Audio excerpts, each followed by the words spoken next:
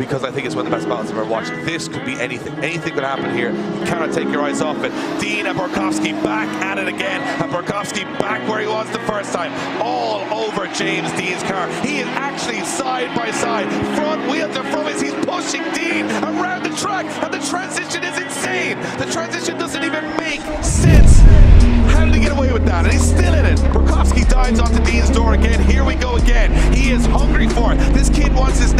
on everyone's lips tonight. And by midnight, he might just be that rising star. As he all over the back of James Dean's car, he's right there. He's closer than he was the first time. He's more aggressive than he was the first time. And now he's right with Dean. He lost him here the last time. Not this time. James cannot get away. And Borkowski goes right to the door.